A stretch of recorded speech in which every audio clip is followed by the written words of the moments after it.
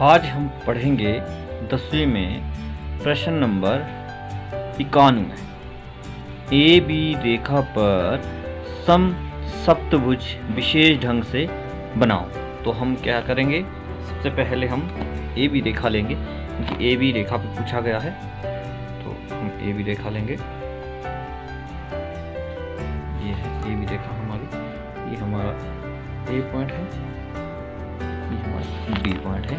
हम सबसे पहले ए बी रेखा का समधि भाजन करेंगे मैंने आपको बताया था समधि भाजन करने के लिए हमारे को ए बी रेखा से आधे से ज़्यादा प्रकार खोलनी होती है।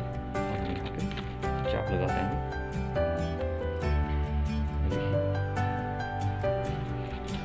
देखिए चाप लगा दी है दूसरी चाप लगाएँगे। ये देखिए। जहाँ पे दोनों चापे आपस में कट रही है। वहाँ पे हम डॉटेड लाइन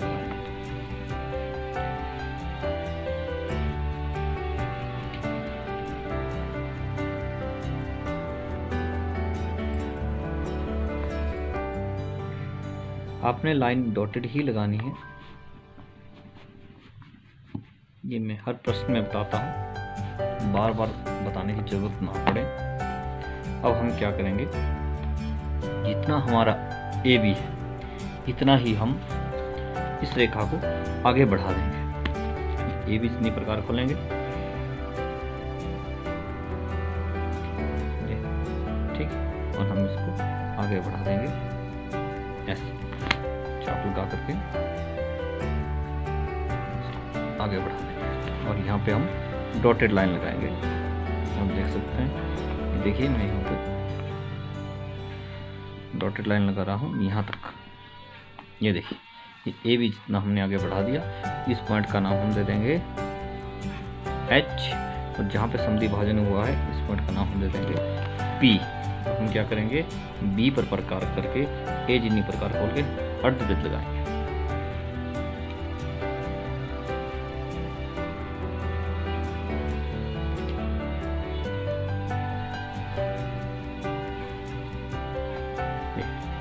बराबर है।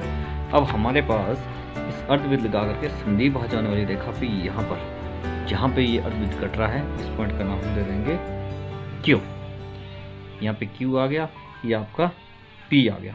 अब इस प्रश्न को बनाने में जो सबसे मेन जो रोल अदा करता है, वो ये लाइन रोल अदा करती है।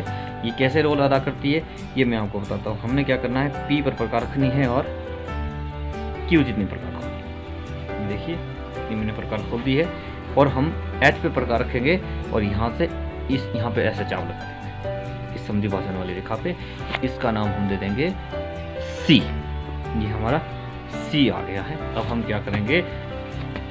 बी से सी को मिला देंगे ये देखिए, मैं यहाँ से बी से सी को मिला रहा हूँ। ये देखिए। ठीक है? वैसे ये लाइन डार्क आनी है, क्योंकि ये सप्तभुज की एक भुजा है। आप देख सकते हैं, जितनी आपकी ये भुजा है, उतनी ये। इक्वल है। यहाँ से पी से क्यू जितनी प्रकार खोल के आपने एच से सी काटना है, और इसका भी आपने समधि भाजन करना है। इसका बी और सी का, ये देखिए इसका भी समधि भाजन कर देता हूँ।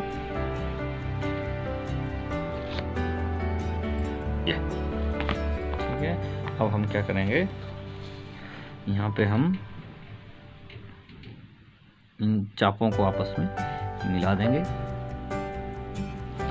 ये चापें हमारी डॉटेड मिलेंगी। ये देखिए। ये देखिए। जहाँ पर ये लाइन हमारी ये पहले वाली ए बी रेखा के समधि भाजन रेखा को काट रही है, इसका नाम हम दे देंगे यहाँ पे ओ अब हम क्या करेंगे? पर हम क्या करेंगे? ओ पर प्रकार रखेंगे। यहाँ इस ओ पर प्रकार रखेंगे और ए जितनी या सी जितनी प्रकार खोलेंगे। देखिए यहाँ पे मैं इस ओ पर प्रकार रख रहा हूँ। ये देखिए, यहाँ पे या तो सी जितनी प्रकार खोलो या फिर ए जितनी। ये देखिए यहाँ पे ए जितनी प्रकार खोली आप आप कितनी प्रकार खोल सकते हैं। ये। अब मैं यहाँ पे इसमें चाप लगा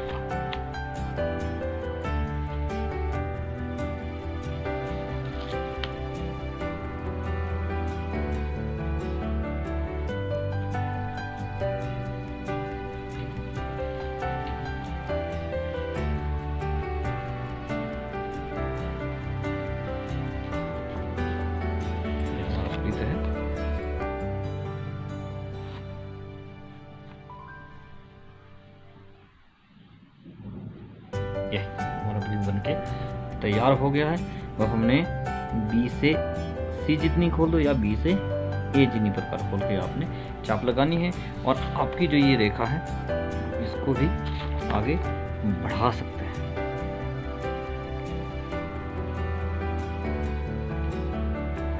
रेखा को भी आप आगे बढ़ा सकते हैं। और अब क्या करेंगे आप? बी से बी से सी से आगे चाप लगा देंगे। ठीक है? यहाँ से आगे तक ये देखिए। अगर इस लाइन पे पूरा कट रहा है तो आपका एंगल सही है। ये देखिए, मैं यहाँ से भी लगा देता हूँ, और यहाँ से भी चाप लगा देता हूँ, और यहाँ से देखिए। ये देखो बिल्कुल बराबर आ रहा है। यहाँ बराबर आ रहा है ये। तो ये इसका हम नाम दे देंगे, इसका नाम हम दे देंगे डी इधर हम नाम दे देते हैं इसका ई यहाँ हम नाम दे देंगे इसका एफ़ यहाँ नाम जी आपने क्या करना है? सी से डी को मिला देना है।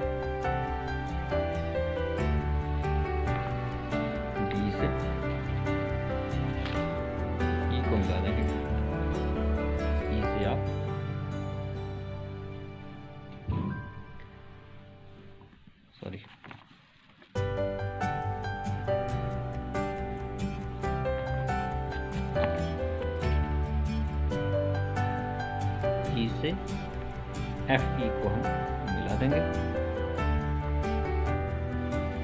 और जी एफ़ को भी मिला देंगे और ए जी को। ये आपका 91 प्रश्न है ये तैयार हो गया है। इसमें मेन क्या है? आपका पी से क्यू इतनी प्रकार खोल के आपने एच से सी काटना है तो आपका प्रश्न सही हो जाए